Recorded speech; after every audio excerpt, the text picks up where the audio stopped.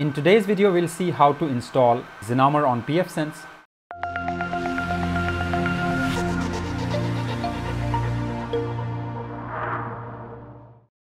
In my blog, I have given all the information, so you can click on Zenarmor from the link here and it will open here.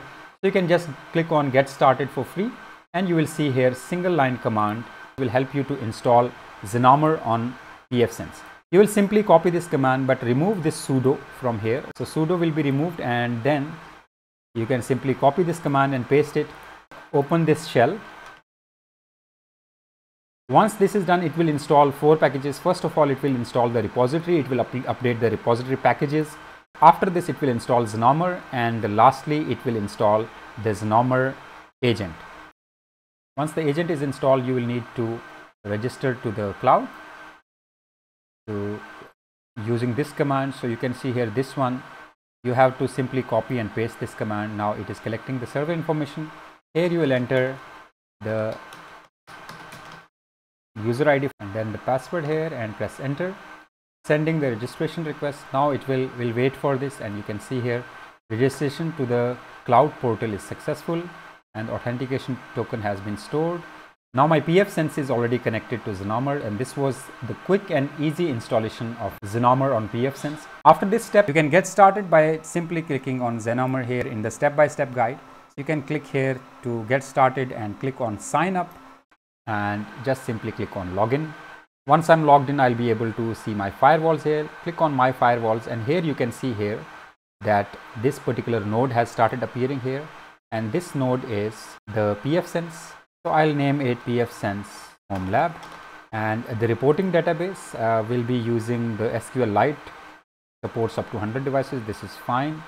And deployment mode, I'll be choosing routed mode L3 up to 100 devices. Okay, VTNet 0 is for WAN. So I'll be choosing here WAN and VTNet 1 will be LAN and add firewall now it is configuring the firewall. We'll just wait for it and you can see here successful. Now I'll be able to monitor all the traffic. I can monitor the statistics of pfSense firewall also CPU usage disk utilization memory usage. All the information is available here. All the reports network management cloud services and all the threats.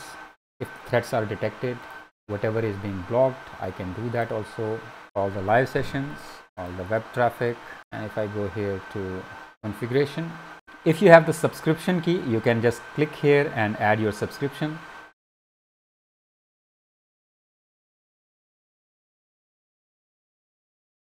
Okay here is the subscription key that I have added. It, it shows that activation key successful restarting your packet engine now and your license key is rechecked.